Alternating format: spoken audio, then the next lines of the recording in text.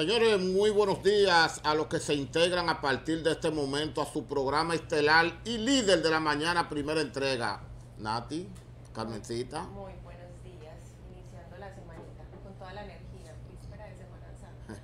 Mira dónde está Stephanie y el maestro Anthony Quinn. Buen día, buen día. Bien. Buen día, señores. Buen día. Bu- Bueno, señores, mira, el fin de semana pasado se aprobó en, en primera lectura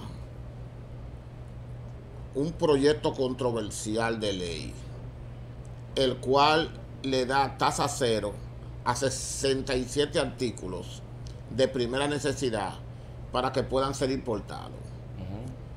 Ustedes saben que los gobiernos se caracterizan por sus actos. No es que tú digas que no, que yo apoyo al productor nacional y que haga lo contrario. El gobierno ha sostenido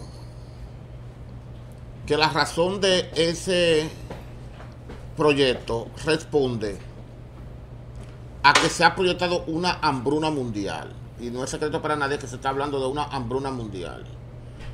Para garantizar que la comida le pueda llegar más barata a la gente, han decidido facilitarle las condiciones al, importador para que tú digas, bueno, si vamos a traer carne de Argentina, no hay que pagar impuestos. Vamos a traer pollo de Estados Unidos, no hay que pagar impuestos. Vamos a traer salsa de Estados Unidos, vamos a traer ajo.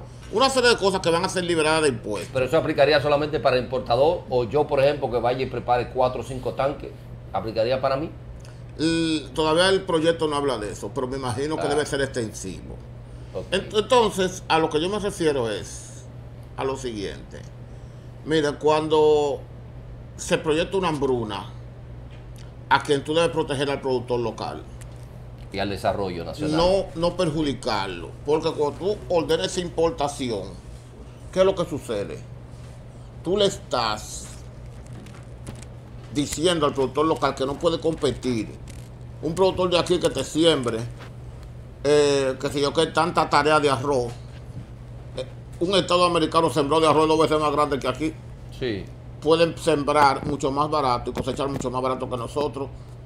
Si el productor local no es protegido, el importador, el extranjero, se lo come vivo. Pero que hace mucho, por eso que, que, que aquí el, el agricultor nuestro no es protegido. No, el, el eh, ámbito nacional no es protegido. no, Danilo porque, hasta la, Medina- porque hasta la cebolla en un momento dado tuvieron Sí. que tirar a la calle. Danilo, Danilo Medina desarrolló una política de protección al hombre del campo con la visita sorpresa y, con, Sí, y, sí. y también con los con, con los préstamos de, del banco Banco Agrícola y Promipyme.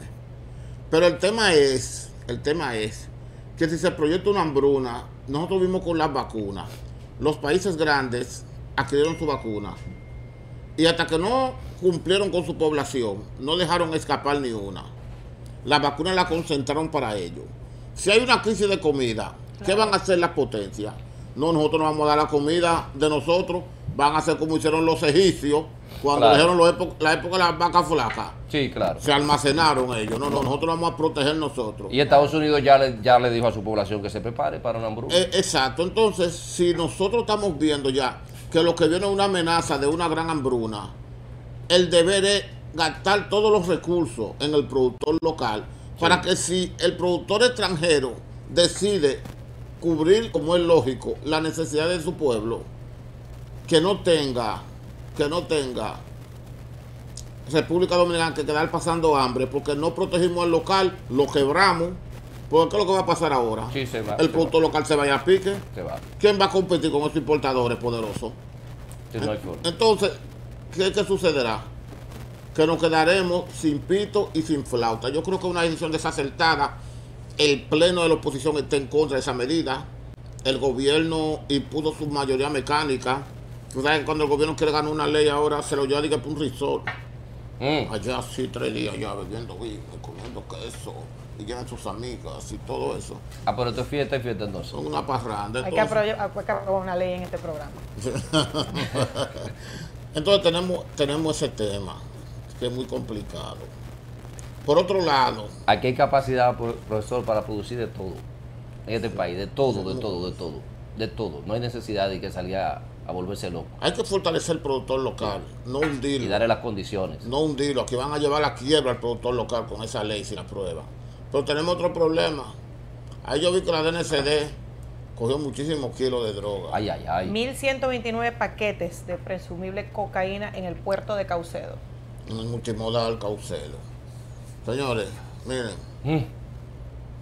los puntos, los puntos están saturados de droga. Esta gestión ha cogido droga como cosa de loco. Yo no entiendo qué es lo que está pasando. Esta gestión ¿Es que están trabajando mucho o que se están trayendo ha más? cogido droga como usted no se puede imaginar. Pero la droga está baratísima en los puntos. Profesor.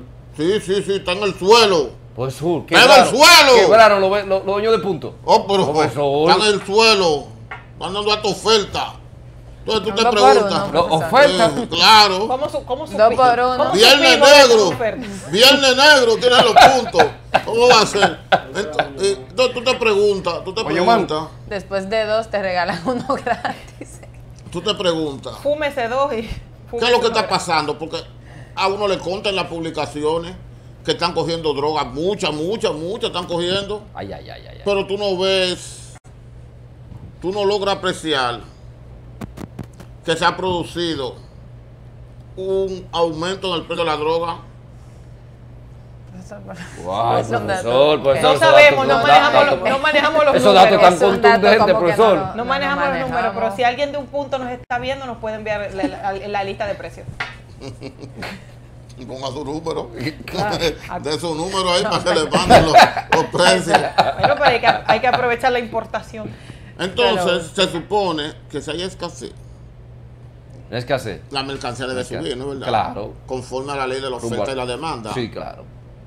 Entonces, si hay abundancia, deben bajar. Sí. Conforme a la ¿Qué jefa de pasa? la ley. Con, con los Bueno, pollos pasa eso frecuentemente. A lo mejor la gente está calmada y no hay tanta demanda. Ah, bueno. Ah, bueno. Ah, bueno. En un proceso de recuperación. Claro, quizás en diciembre suba.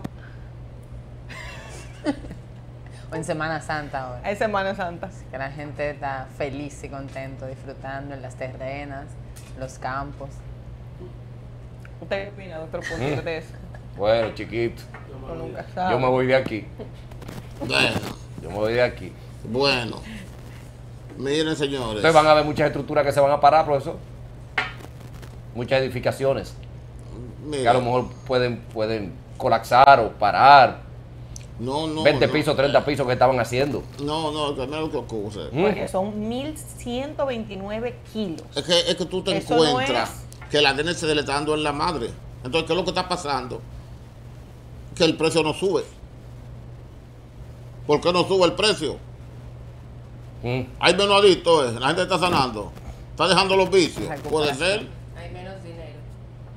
Pero en los Y puntos. venimos de una pandemia. Los puntos dicen allá que, no encuentran qué van a hacer con tanta droga. La gente está invirtiendo en, en Bueno. en- No encuentran qué van a hacer con toda esa droga en los puntos.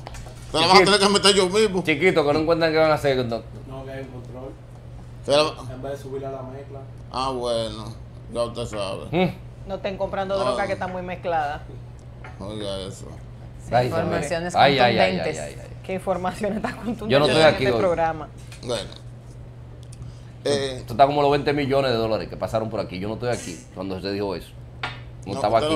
no yo no estaba aquí. Esa fue la semana que yo no vine. No, ni tú ni yo estábamos aquí. Ah, viste, ya. No, no vamos a salir en el Yo caso, estaba, yo estaba enferma aquí en, el caso primera el, entrega. el que habló de eso es un especialista, no fue un gallo loco que saltó con eso. 20 O sea, millones de dólares, por eso Sí, pasaron. sí. Por la banca dominicana. Cuando él dijo eso, yo me asusté. Temblaste como Sí, yo temblé. Yo estaba aquí y recuerdo que me fui por allá por la esquina detrás de Moñomán y salí. Sí. Rubén, y la, esa droga la encontraron camuflada en unos zapatos. Dicen que iba eh, de camino al puerto de Rotterdam. Una vez, una gente le cogieron una droga, unos zapatos. Y dije que no sabía que esa droga iba ahí. Oye, a una gente se le pega un ching el zapato y no puede ni caminar. Ese pie le hace así. y tú tenés- Llevaba un kilo en cada pie, no se había dado Y cuenta. dije que tú no sabías. Aquí, aquí hay gente, aquí hay gente que se la luce. A una gente se le despega un ching el zapato, mira, y para caminar tú sientes De una que, vez, de una que- vez. que es la del diablo.